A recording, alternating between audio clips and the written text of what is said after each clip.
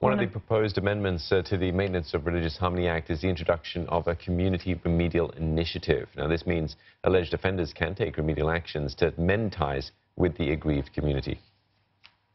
Some examples of remedial actions under the CRI include issuance of a public or private apology or participating in activities that promote religious harmony. In determining the appropriate actions, the minister will consult with religious leaders, though the final decision rests with him. The CRI is not mandatory.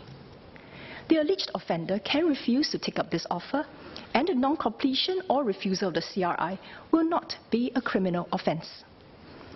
At the same time, if the offender agrees to complete the remedial actions and does so, the minister undertakes not to refer the case for criminal prosecution.